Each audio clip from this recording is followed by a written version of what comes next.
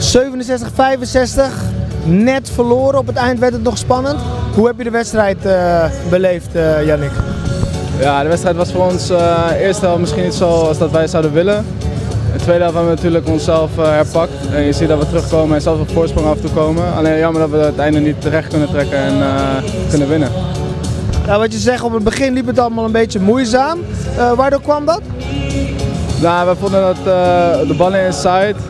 Weet je, we waren goed inside bezig. Alleen we hadden net weer finishes moeten hebben eigenlijk, maar we maakten maar 21 punten.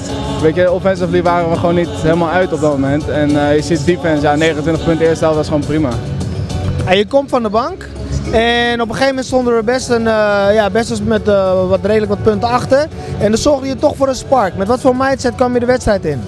Ik probeerde het team probeer ik een, te geven, probeer een spark te geven elke wedstrijd. Elke keer als ik vanaf de bank kom, probeer ik het team energie te geven waardoor we een comeback kunnen maken.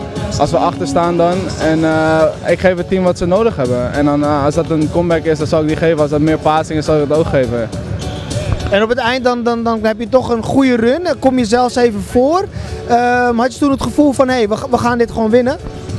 Ja, we zaten in een flow op dat moment. Dus uh, was, ja, ik had er wel een goed gevoel over. Alleen helaas uh, ja, kunnen we net niet doorzetten. Ze maken toch weer wat belangrijke ballen, waardoor ze toch weer voorkomen met 5, 6 punten. Ja, met nog twee minuten, ja, dat is meestal lastig om dan nog uh, ja, recht te trekken dan. Maar het is niet onmogelijk, maar helaas is het vandaag niet gelukt.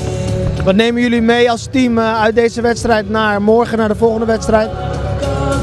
Offensive wat beter te staan gelijk vanaf het begin. Ik bedoel, we moeten nu van behind komen. Ik bedoel, 21 punten, we staan 8 punten achter, is niet heel veel. Maar ja, als je 30 punten maakt, sta je 1 punt voor, dan geeft toch wat een lekkere gevoel in de rust. Dan weet je dat je alle twee goed gedaan hebt. Dankjewel. Geen dank.